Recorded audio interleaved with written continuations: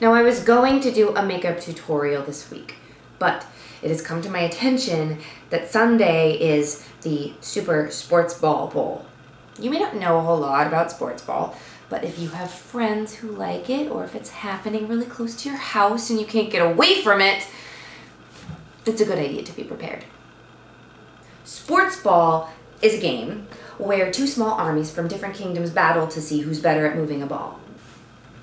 The players wear color-coded armor so that you can tell which kingdom they're from. They also have matching face paint to signify their participation in the battle. You can wear face paint too if you want. It's very intimidating. You can get through this. One way to do it is to just hide in your castle all day, but I would recommend going out. In addition to the sports ball, there's a lot of drinking and eating unhealthy food. Mm, That's fun. The armies this year are the Panthers and the Broncos. Now, Don't be alarmed, they are not actually wild horses or large cats, they're just people pretending to be animals fighting. Don't worry if you don't know anything about sports ball, there's lots of ways to blend in. Wear a jersey. If you wear a jersey, it'll make you look like you know something about sports ball, even if you don't. If you don't have a jersey, that's okay. You can just get a white t-shirt and some Sharpies. 18 seems to be an important number on jerseys. It's because there's 18 holes on the field.